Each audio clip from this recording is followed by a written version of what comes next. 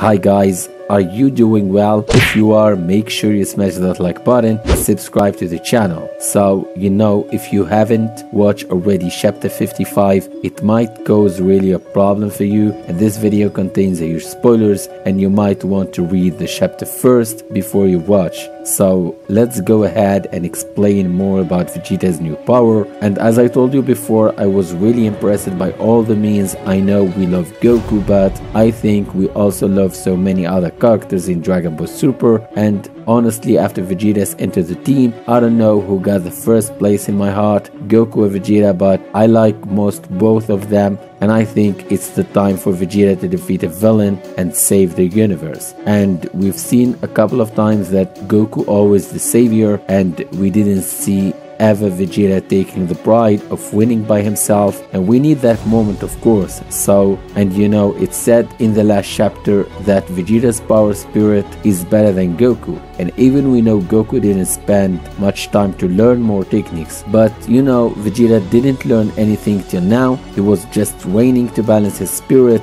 and he managed to do that fast as Goku. And exactly when Pybara tells Vegeta before your training here your body and spirit were so off balance that you couldn't project your own power very well. And he confirms also by saying, Wonderful spirit power, your spirit is now more polished than Goku and you manage it in no time. And you know, Vegeta's response is classic as always. Of course, Kakarot and I are not cut from the same cloth. Vegeta always trying to surpass Goku and I think this might be the time to do that. Remember when Vegeta was able to sense other spirit from far places like Earth? Pybara, the king of Yardrat was impressed by Vegeta and now Vegeta will learn the instant transmission as first step technique and I think he will be able to use it when Moro on Earth so he will teleport to Earth even it's far away since he was able to sense the spirit. My conclusion is that Vegeta getting stronger and he might surpass Goku and we will wait until the final battle who is going to save the universe,